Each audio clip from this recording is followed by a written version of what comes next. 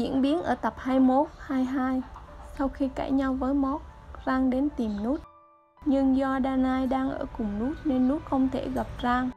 Lúc ra về thì Rang phát hiện xe của Danai đậu bên dưới nhà Rút Nên Rang hết sức ngạc nhiên. Tiếp theo ở tập 21, 22 là Rút gặp Mốc và hy vọng Mốc sẽ mở lòng. Nhưng Mốc nói Mốc muốn cho mọi chuyện kết thúc trước rồi từ từ bắt đầu lại. Lúc này Ruth nói thêm, Cô muốn làm vậy tôi cũng không ngăn cấm, Nhưng mà tôi cũng có quyền khiến cô quay lại nhìn tôi.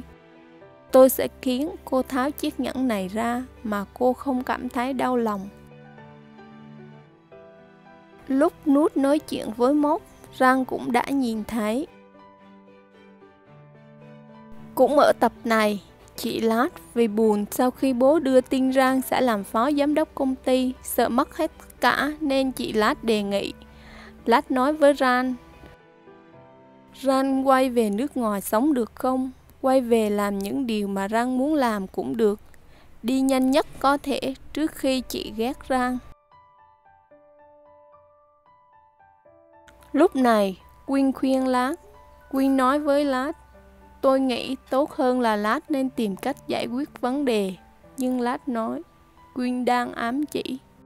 Sau khi chị Lát yêu cầu Ran đi nước ngoài thì Ran rất buồn. Anh đi dạo phía bên ngoài. Phía sau, có người cầm gậy đi theo anh. Tập 21 22 sẽ được phát sóng vào 20 giờ 30 tối thứ hai ngày 21 tháng 6 năm 2021. Mời cả nhà cùng đón xem.